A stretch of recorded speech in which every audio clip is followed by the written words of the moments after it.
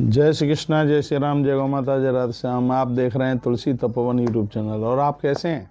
इस वीडियो में हम अद्भुत चर्चा कर रहे हैं। आज से मार्ग शीर्ष का महीना आ गया, इनका महीना शुरू हो गया है आज तारीख हो गई है सोलह नवंबर।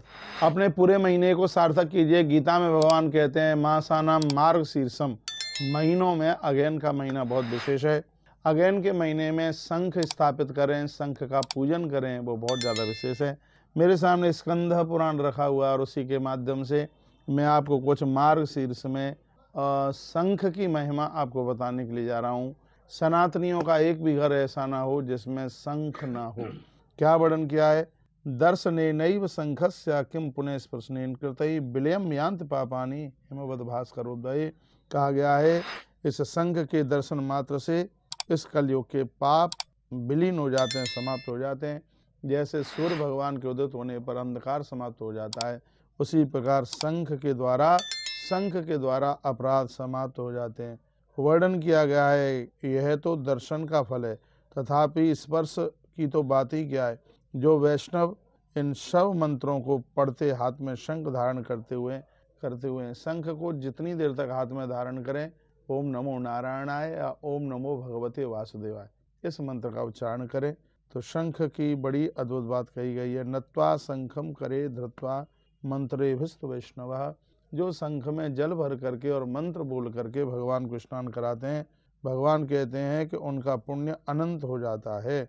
उनका पुण्य समाप्त नहीं होता। यह स्नाप यात माँ भक्ताम तस् पुण्य अनंतकम अंतकम अनंतकम उनका पुण्य हो जाता है, उनका पुण्य कभी कम नहीं होता। मैं कहूँगा, जिस प्रकार से कार्तिक के महीने में भगवान नारायण के ऊपर तुलसी पत्रों से पूजा करने का बहुत ज़्यादा प्रभाव उसी प्रकार से मार्ग शीर्ष के महीने में भगवान को शंख के जल से स्नान कराने की बहुत बड़ी महिमा है।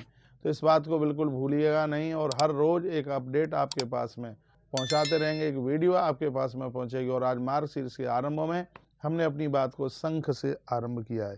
कहा गया है कि शंख में आप जल में थोड़ा सा चंदन मिला करके दूध मिला करके और भगवान का अभिषेक करें।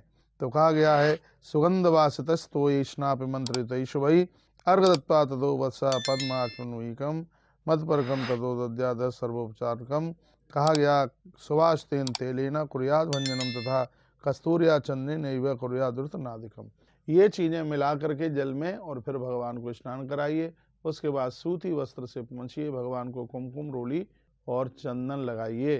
तो शंख की ध्वनि जहाँ जहाँ तक पहुँचेगी, वहाँ किसी भी प्रकार की अलाय वहाँ किसी भी प्रकार की बलाय नहीं रहेगी।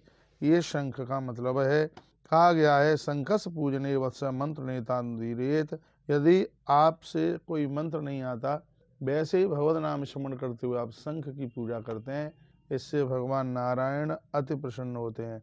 कहा गया है कि भगवान विष्णु ने शंख को धारण किया है, महापुरुषों ने, देवताओं ने शंख को धारण किया है क्या लिखा है? इकाई, दाई, सैकड़ा, हज़ार, दस हज़ार। लिखा है, जो शंख का पूजन करता है, दस हज़ार चंद्रमाओं के बराबर उसके पास में शीतलता चल करके आ जाती है।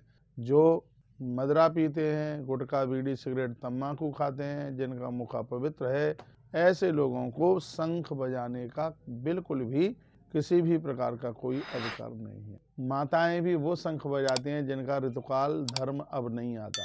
क्योंकि शंख बजाते समय ध्वनि नाभि से उठ करके ऊपर जाती है। तो जो बहनें बच्चों को जन्म देने वाली हैं तो एक स्वास्थ्य के हिसाब से उनके लिए शंख को बजाना ठीक नहीं माना गया है, क्योंकि इसमें जब बजता है तो इसकी श्वासें नाभि से ऊपर की तरफ़ उठ करके जाती हैं। वैसे शंख की ध्वनि घर में बहुत ज़्यादा शुभ है। शंख की ध्वनि जहाँ जहाँ तक पहुँचती है, वहाँ तक किसी भी प्रकार की भूत प्रेत की पीड़ा वहाँ बाधा किसी भी प्रकार की रहती नहीं है। तो सबके घर में शंख होना चाहिए। अगली वीडियो में मैं ये भी बताऊँगा, शंख कितने प्रकार के होते हैं। अभी मैं ये कह रहा हूँ, घर में दो शंख रखिए, एक उत्तरीय शंख और एक दक्षिणीय शंख। जो दक्षिणीय शंख है, उसे भगवान को निलाइए और याद रखना, शंख से भगवान विष्णु को ही स्नान कराया जाता है। शंख से भगवान महादेव या और देवताओं को आप स्नान ना कराएँ। विष्णु के रूप में भगवान कृष्ण हैं, प्रभु राम है। भगवान सागर राम है, शंख के द्वारा उन्हें स्नान कराया जाता है। शंख से भगवान को स्नान कराने पर धरती की संपूर्ण नदियों से भगवान को अभिषेक करने का फल तत्काल प्राप्त हो जाता है, ऐसा वर्णन इस ग्रंथ के अनुसार किया गया है। तो शंख तो बहुत पूज्य है, बड़ा वंदनीय है।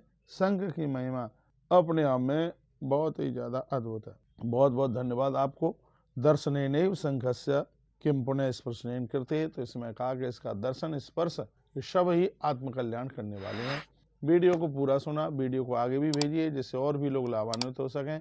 मार्गशीर्ष अगैन का महीना आरंभ हो गया है और आज सोलह तारीख को पहले ही दिन मार्गशीर्ष के पहले ही दिन हमने यह वीडियो आपके पास डाली है, क्योंकि मार्गशीर्ष के महीने में भगवान को शंख से स्नान कराने की बड़ी महिमा है। इसलिए हम पूरा महीना भगवान को शंख से स्नान कराएँगे।